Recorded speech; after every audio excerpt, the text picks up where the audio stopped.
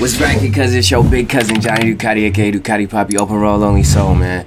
And uh it's the defamed racer and um Kanye's daughter Chicago is having her birthday today and they wouldn't allow Kanye to come to the uh they wouldn't allow Kanye to come to the party or whatever. So we're gonna play the video and I'm gonna give my synopsis. Here we go.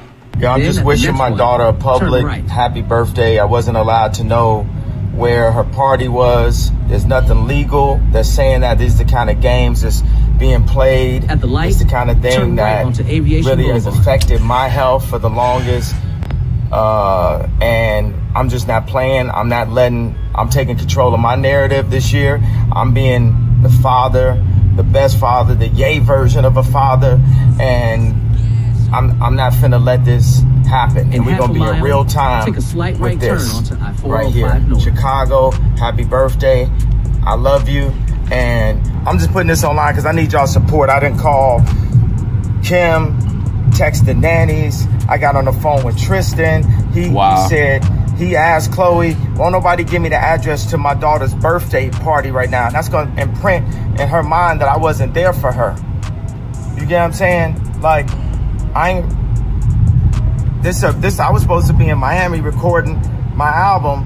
I'm my whole schedule is all based around me being able to take my kids to school, me being there for them, making sure that I'm in their life. That's the whole point of having money. They take so many fathers just throughout America.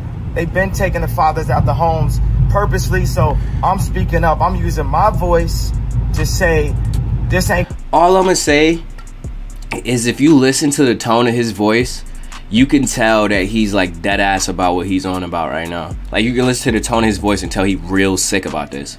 gonna keep happening. This narrative is not finna happen. It's a lot of people that's not in a position where they ain't got no voice when people be playing games like this. Baby mamas be playing games. The grandmama be playing games like this. And it's like, as y'all know, they ain't finna play like that with, with me. All right, so uh, yeah, so um, basically, what I feel, I feel is real fucked up for sure. I, I definitely feel like it's real fucked up, and I don't understand like.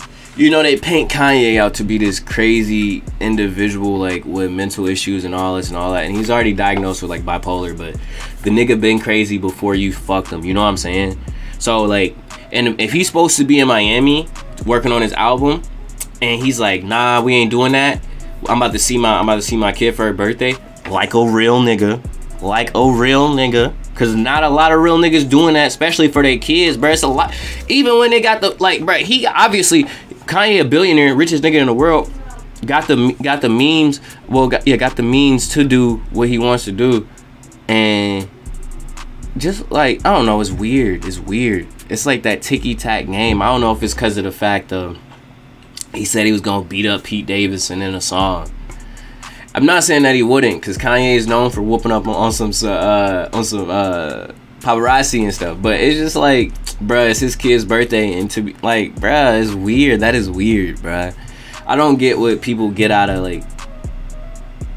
You don't never know how something's gonna affect the kid like especially growing up in that younger age like imagine her looking for her dad or like i don't know what goes on behind the scene but imagine her looking for her dad and seeing he not there at her birthday party and then he was there at North's birthday party or uh saint or i don't know how to pronounce that nigga name it's like s palm but um none of they none of they part oh, he was at their parties but he wasn't at uh chicago's that's weird like that's really weird bro so it's going that would make her that would make me feel a type of way to be honest so I don't know, like, and you never know, like, she might feel a type of way about that, and like, you know, keep remembering and think her dad like one of the others more than more than the other one, and I don't think that's fair. Personally, I don't think that's fair to the kid. I don't think it's fair to Kanye. Like, you can listen to his voice, like, you can hear the tone in his voice and hear like that nigga wants to break down right now. Best father, the yay version of a father. Like, and you can hear it in I'm, his I'm voice. not finna let this